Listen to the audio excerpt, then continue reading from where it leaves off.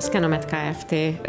Hozta létre a Translációs Kutatóközpontot itt Debrecenben. Tíz évvel ezelőtt alapította meg a céget, azzal a nem titkolt szándékkal, hogy a magas színvonalú betegellátás mellett egy olyan kutatóközpontot is létrehoz, ahol segít a gyógyszergyárakkal való együttműködés kapcsán segíthetjük a gyógyszerkutatást, már a kisállatokban való vizsgálatokon keresztül egészen a humán ellátásig, tehát gyakorlatilag a teljes vertikumot korai fázistól már tudjuk csinálni, ezzel mindenképpen az egészséget, az emberek beteg ellátását segítjük elő a gyógyszerkutatással. Nem utolsó sorban az egyetem segítségével jött létre ez a központ, amivel az egyetem presztízsét is tudjuk növelni az együttműködéssel, és mindenképpen Debrecen város vonzerejét.